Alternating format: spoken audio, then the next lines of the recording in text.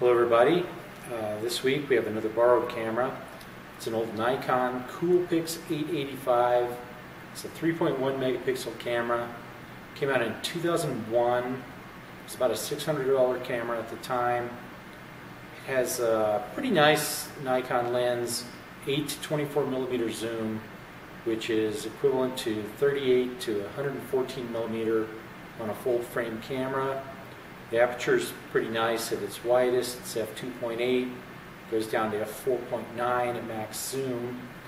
Um, it uses the old school compact flash, and it uses Nikon rechargeable lithium batteries. Um, that's about all I can think of to say. I've shot this quite a bit. Um, it's a fun little point and shoot. So I'll shoot with this for a week and we'll see what the results are. And I'll see you then.